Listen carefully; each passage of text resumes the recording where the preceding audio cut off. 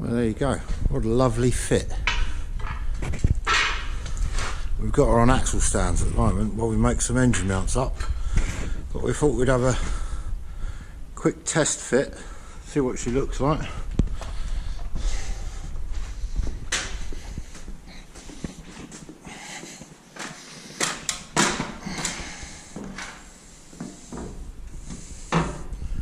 Be a short prop shaft, about two foot. Auto box seems to fit in there quite nicely, just on the right on the bulkhead as well, so we can make that bulkhead up.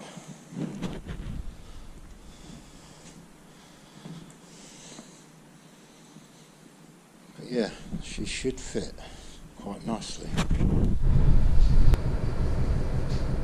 Right, there you go, engine mounts in. She's good and solid now, bolted down at the back. The gearbox goes in, all bolted down to the floor.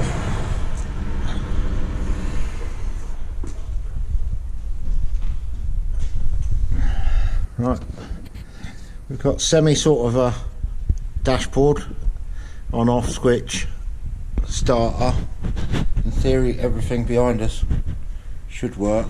Dell's up there on the battery. I'm on the battery. Um, just thinking. Yeah. Right, you ready?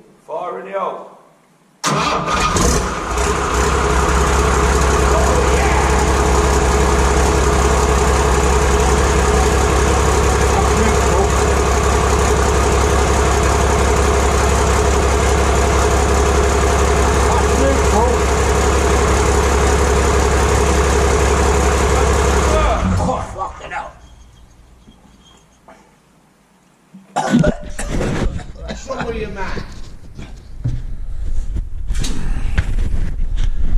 Was that successful, Dell? Set all running.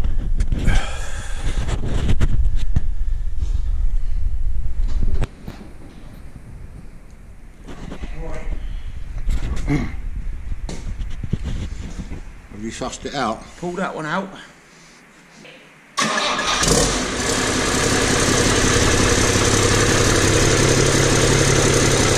Okay. Yeah, you see what I mean? It gets a bit smoky in there, doesn't it? We need an exhaust system, Dell. Just got to hang your head out here. My eyes are watering. Maybe you need exhaust pipe. yeah. I reckon we need an exhaust pipe. Um, there's going to be a test fire, find out whether this pipe work and such like works. Everything seems to be in place. Nice radiator on the back there, just the right size.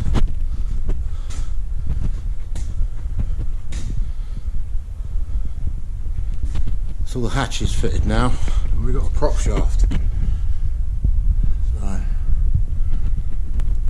we'll fire it up and see what happens.